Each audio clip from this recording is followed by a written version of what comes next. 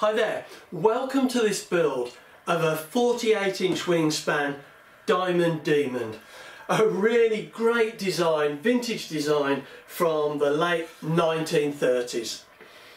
Now we're cracking on with this and we're, we're almost there really. We've done the bulk or if not all of the major construction work.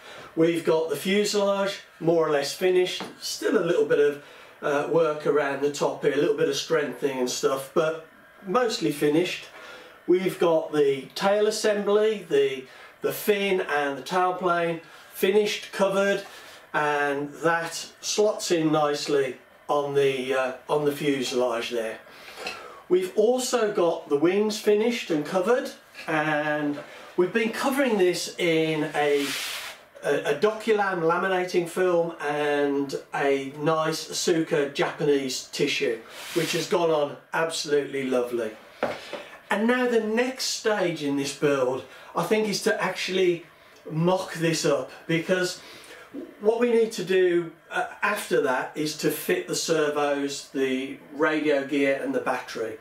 Now that is equipment that we have a little bit of leeway that we can move it needs to be obviously where we can get to it, but we can move it forward or backwards a little bit depending upon the best location to put it.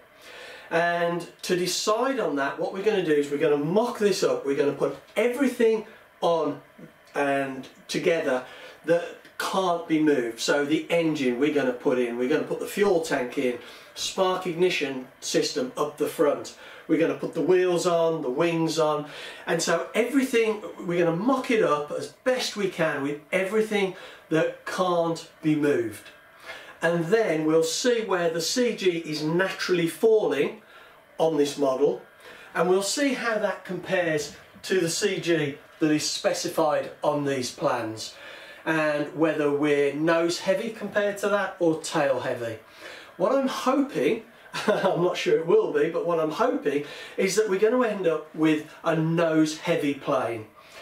And the reason being, or at least at this stage, a nose heavy plane. Because then we can put the radio gear in which is going to go behind the CG and help to bring that nose heavy plane to the CG that is specified on the plans. So we will put the radio gear and the battery of course which has some weight back behind the CG and that will help to balance that nose heavy because what we want to do is we want to get this plane so when it's finished it balances more or less correct as regards this balance point on the plan. We don't want to finish a plane and find we've got it really tail heavy and we have to put a load of lead in the nose or similarly really nose heavy and we have to put a, a load of lead in the tail. Now what I'm hoping to do with this is I'm hoping to put a micro servo which I've got a very small one we'll have a look at in a bit anyway and I'm hoping to put that right down in the tail here but unless we've got a fair bit of uh, weight in the nose that makes it a little bit nose heavy we might have problems trying to get it to balance if we put a servo down here. So anyway, I'll stop talking now and I will get this mocked up as best as possible, as I said, with everything that can't be moved and then we'll see where that CG is falling. Right, I've now got this mocked up and it's really exciting to see it coming together like this and it's the first time I've had the engine bolted in properly and it's a bit of a tight squeeze with the bolts coming up from underneath but it is possible and it makes it look a lot neater having this all enclosed uh, and the solution we've got. You'll have probably seen that hopefully on a previous video. I've got a little bit of excess hose here which is adding a bit of weight that won't be there in the finished model but then I haven't fuel proofed it so hopefully the fuel proofing and removing that excess hose will balance each other out.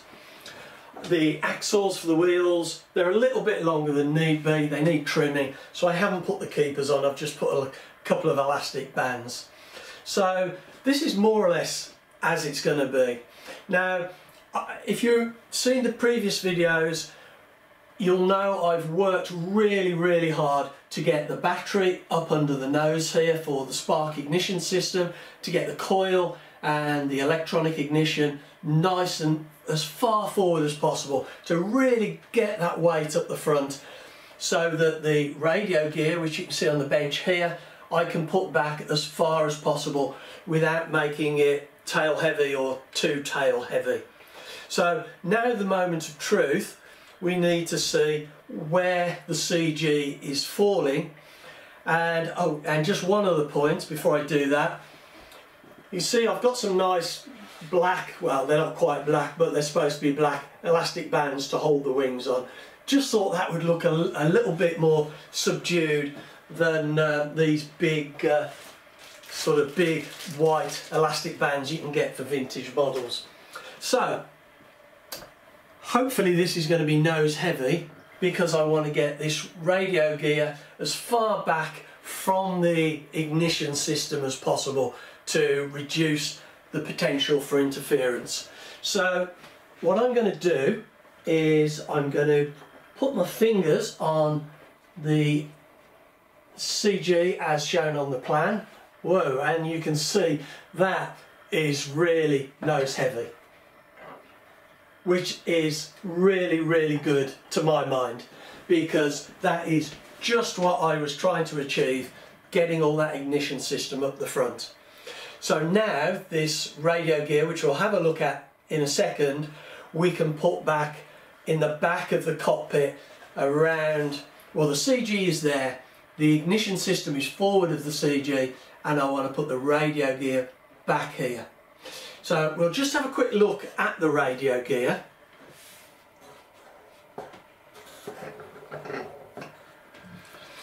Okay, well in selecting this equipment I've tried to choose things that are really light.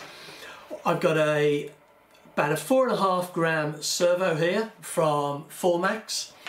I've got a Emax servo which is a quite a lightweight, I think this is about eight and a half grams.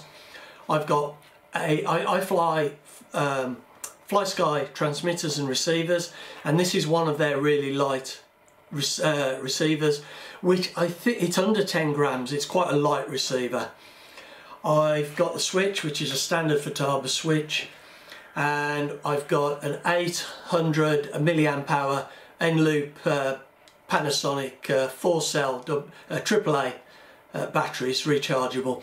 And this is a, a, an overlander pack. And I've got another of the micro servos here. Now all of this adds up to about 90 grams.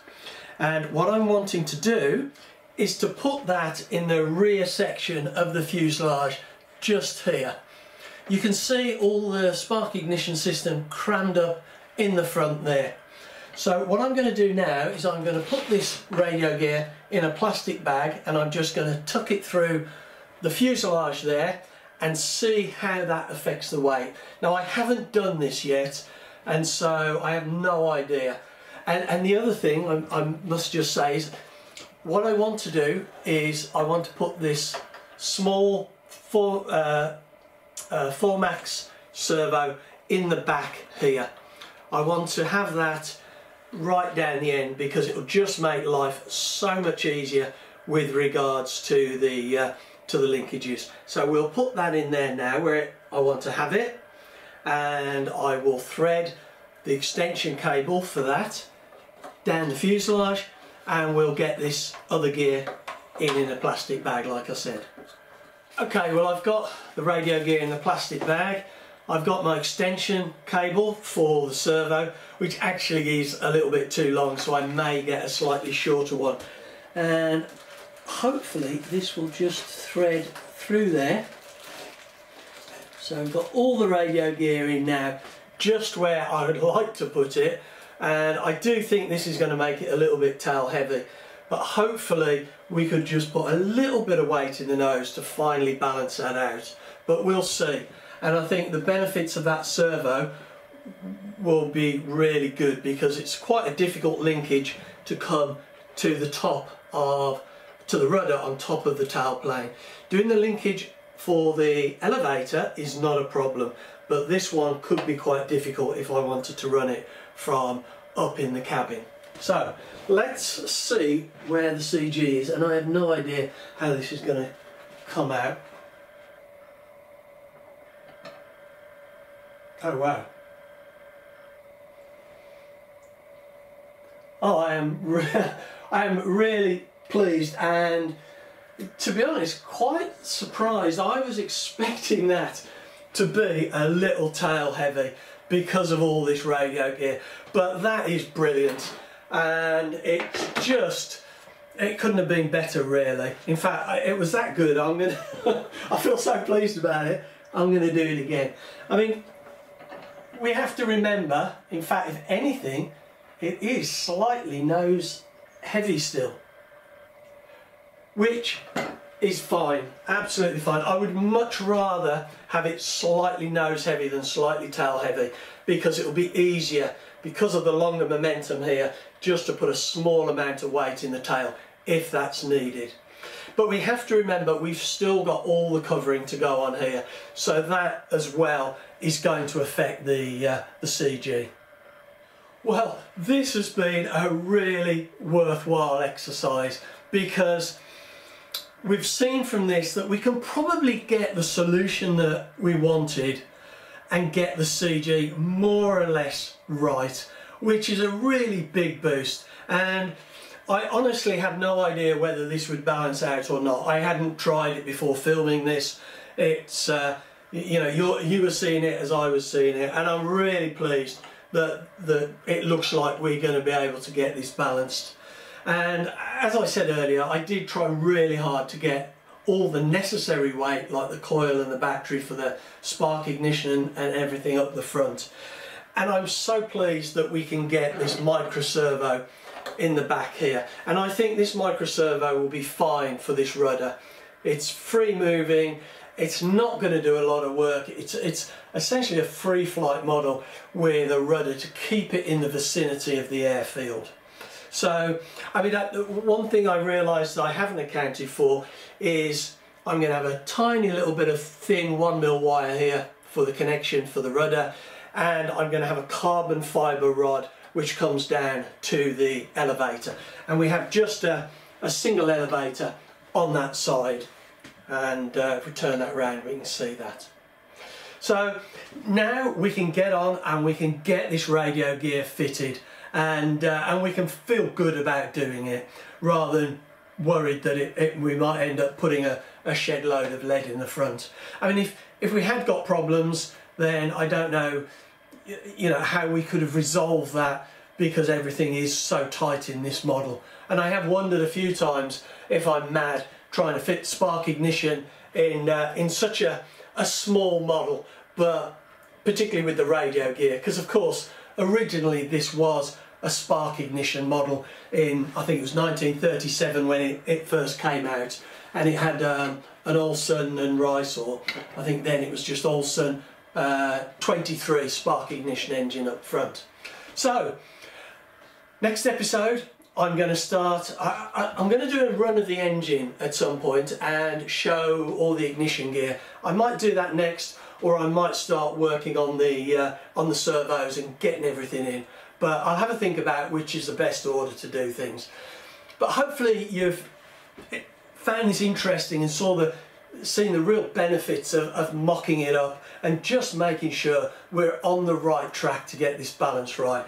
And as I said earlier I am so chuffed that this looks like it's going to be coming out right. And uh, with the, the CG in the right place. And of course the CG is quite a way back on these wings because we've got a, a, a lifting tail which always moves the CG back a little bit. So anyway, I hope you found that useful and interesting. Thanks very much for watching.